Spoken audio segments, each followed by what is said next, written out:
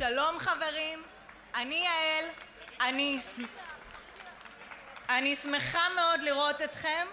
תאמינו לי שלראות כל כך הרבה אנשים שמגיעים להפגנת ימין כשאין פה קרן לישראל חדשה שמממנת אותנו ואין פה אטרקציות כמו מישהו שמחופש לווגינה או מישהי שמתפשטת על מנורה ובכל זאת יש כאן כל כך הרבה אנשים זה דבר יפה לראות אנשים כולם לבושים, זה מדהים אותי, זה יפה, שמחה לראות כזאת הפגנה ואני רוצה לדבר איתכם על היועץ המשפטי לממשלה, אני רוצה לדבר איתכם על פרקליטות המדינה, על בית המשפט העליון. אתם יודעים שיש במדינה הזאת אנשים עם מוסר כפול. יש במדינה הזאת אנשים שהם מעל החוק. אני אזכיר לכם שלפני כמה שנים הייתה איזה פרשייה שמנדלבליט היה מעורב בה, פרשיית הרפז. אחד הדברים שקרו כתוצאה מאותה פרשייה זה שהיה בחור שקוראים לו גלנט, היום הוא שר בממשלה, שהיה צריך להיות רמטכ"ל. ולמה הוא לא רמטכ"ל? כי מצאו שהוא עשה עבירות בנייה. אחרי זה גילו שזאת הייתה טעות, מישהו תפר לו תיק. אבל כשחשבו שהוא עשה עבירות בנייה, שאומרים לנו שזה משהו לא חמור בכלל עכשיו, אמרו שהאיש הזה לא ראוי להיות רמטכ"ל, ופשוט הסירו את המועמדות שלו.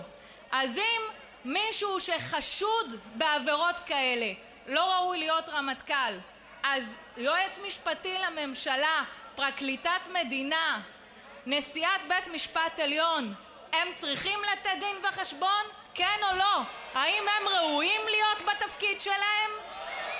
כולנו אזרחים שווים בפני החוק. איך מנדלבליט אמר לנו כשהוא הגיש את כתב האישום נגד נתניהו? נכון, הוא ראש ממשלה, אבל הוא גם אזרח, ואם הוא עושה עבירה, אפילו אם זה סיגר ושמפניה, אני אגיש כתב אישום. אז חמודה, אם בנית בניגוד לחוק וזאת עבירה פלילית ובן אדם לא יכול להיות רמטכ"ל בשביל זה, אז איך את יכולה להיות פרקליטה שמגישה כתבי אישום על כאלה דברים? אז האנשים האלה צריכים לתת דין וחשבון, אבל יש מוסר כפול במדינה. ואיך ראינו עכשיו את אפי נווה אומר לנו? האזנת סתר, כשאפי נווה מדבר בטלפון, היא מותרת. האזנת סתר כשמנדלבליט מדבר עם אשכנזי היא אסורה. אנחנו לא יכולים לשמוע את הדברים האלה. מסתירים מאיתנו מידע חשוב מאוד.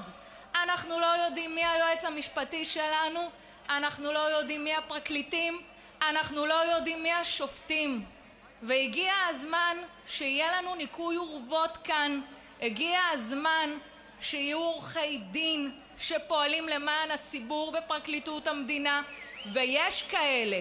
אבל את אלה שלא עושים זאת צריך להוציא. הגיע הזמן שיהיו שופטים שמבינים שהם לא מורמים מעם.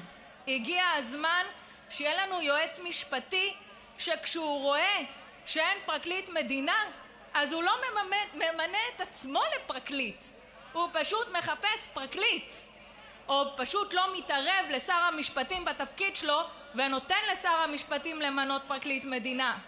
הגיע הזמן לשים סוף לדיקטטורה המשפטית במדינת ישראל כי כמו שאני רואה פה את השלטים של כולכם העם הוא הריבון אנחנו אנחנו בוחרים מי ישלוט במדינה אנחנו בוחרים מי ינהיג את המדינה ועם כל הכבוד אני לא בחרתי ביועץ משפטי, אני לא בחרתי בפרקליט ואני לא בחרתי בשופט. אני בחרתי בראש ממשלה שכרגע גורמים פקידותיים מנסים לסרס אותו. ואנחנו קוראים מכאן לכל האנשים האלה שהם עובדי מדינה, שהם פקידים, שהם סורחים בתפקידם, שהם חורגים מעבר לסמכות שלהם על פי חוק להתפטר.